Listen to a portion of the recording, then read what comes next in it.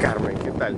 Eh, usted nos ha hablado, usted ha sido directora de la radio pública, radio y televisión pública de España, y lo que nos ha contado, al menos para mí, es como una utopía. Eh, pero tengo entendido que cuando Aznar, cuando dejó el gobierno no era así. ¿Qué, qué, cuáles fueron los cambios? Efectivamente, yo creo que hay un antes y un después, y aquí lo he dicho porque al producirse las elecciones y ganar el presidente actual, Rodríguez Zapatero, lo que existe es la voluntad política fundamental para cambiar los medios. Y la apuesta es, primero, devolverle la credibilidad perdido la radio televisión pública, porque siempre había estado gubernamentalizada, hacer de la radio televisión pública una empresa de todos los ciudadanos y no del gobierno de turno, y para ello, bueno, pues emprendimos unas reformas de carácter Claro, pero todo el mundo dice, todo el mundo quiere eso, ¿cómo se logra eso? Bueno, para empezar haciendo una ley. Que desgubernamentalice la radiotelevisión. ¿Cómo es posible? Y bueno, pues es posible si tiene una financiación estable que no dependa del gobierno, que sea independiente. Tú tienes tu dinero y no te lo da el gobierno, te lo da el Parlamento. Segundo, tienes unos órganos de dirección que no los elige el gobierno, sino los elige el Parlamento y además no por mayoría absoluta, sino por mayoría cualificada.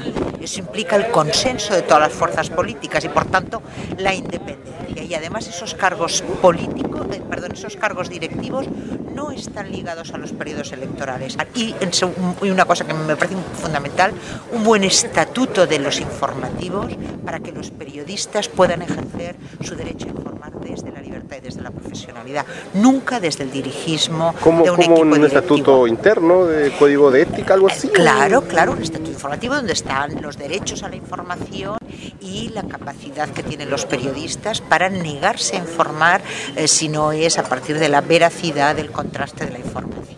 Aparte de la- del financiamiento, viene de la publicidad que tienen los medios privados.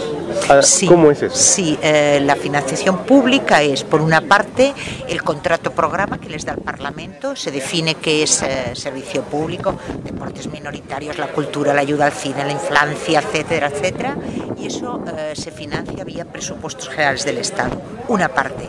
Y la otra es el 3% de la cuenta de resultados de las cadenas privadas, que son concesiones públicas, no lo olvidemos, y que aportan al servicio público de radio y televisión española para poder cumplir ese servicio público. Y no patalearon las, las plazas. No, ha sido por consenso, ha sido duro, ha sido difícil. También ellos van a haber eh, ganado su cuenta de resultados desde el momento que hay 400 millones de euros que tenía Radio Televisión Española en publicidad y que no los va a tener. Y deciden además el porcentaje de contenidos, el- lo decía el Parlamento, ¿verdad? Sí, sí, ¿Cómo sí. es eso? Bueno, pues cada nueve años eh, se define, o sea, se concretan, mejor dicho, los objetivos de servicio público que están marcados en la ley, ¿no?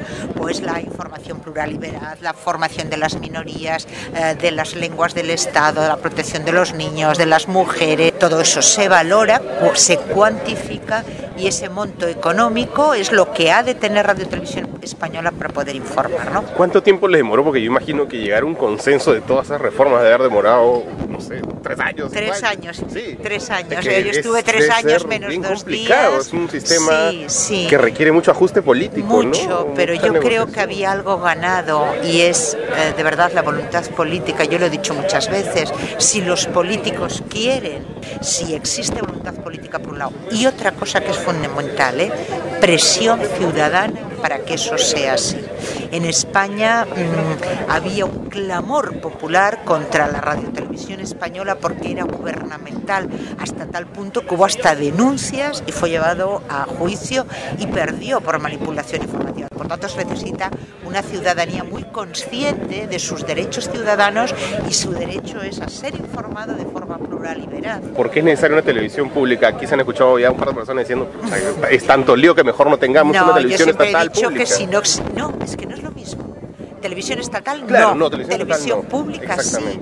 ¿Por qué? Porque jamás un operador privado que al final lo que le interesa es la cuenta de resultados va a informar de determinados servicios públicos que son minoritarios. O sea, yo creo que las empresas mm, privadas de radiodifusión, eh, las empresas privadas de televisión son un negocio y por tanto harán aquellos contenidos que sean rentables a sus cuentas de resultados.